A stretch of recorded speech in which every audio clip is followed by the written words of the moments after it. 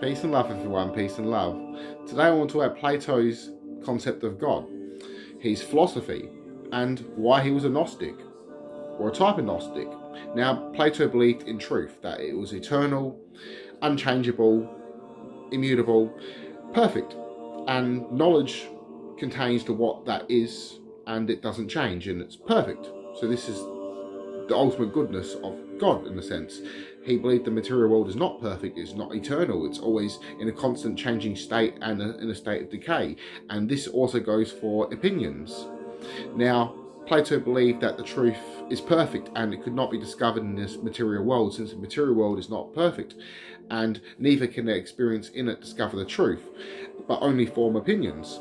Now, he believed that the truth must be discovered through reason, meaning logical thinking and more rational way of thinking. Now, we also believe that we haven't experienced the truth and ultimate beauty and what's eternal, though the truth and what's eternal is within every human being from birth. And that this is our true nature, our rational, loving, compassionate nature. And we have a small understanding of this truth, such as what's truly beautiful and what's good. Now, Plato believed whenever we learned something, this was simply a recording, so that this recording of experience might trigger um, self-discovery, but it doesn't really give us additional knowledge. And he argued to reject education of those who said they can give us knowledge of something that's not there. So meaning that learning is is impacted through past lives, so reincarnation, and this truth and not true knowledge is within all of us. And so this is for our experience. So whenever you learn something that's truly sparks you, this is knowledge that's already been achieved by you in a past life. Now, Plato believed that the universe was created rationally, mathematically, um, intelligently, in a sense.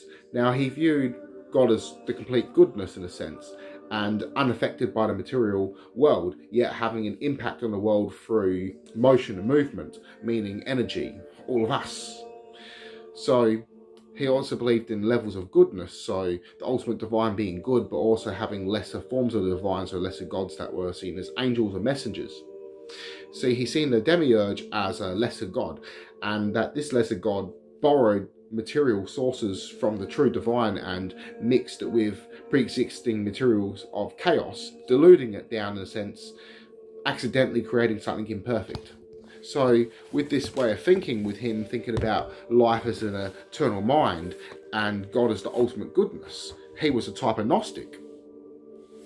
And Gnosticism, and especially Gnostic way of thinking, goes right way back earlier, even through the mystery schools. Gnosticism, well, really, I should say the word Gnostic is a really misused word. It just means someone in the know.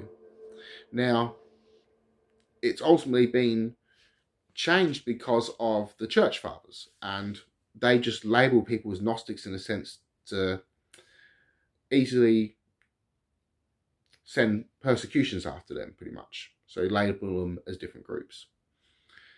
Peace and love everyone. I love you all. Connect to one, one and soul. Namaste.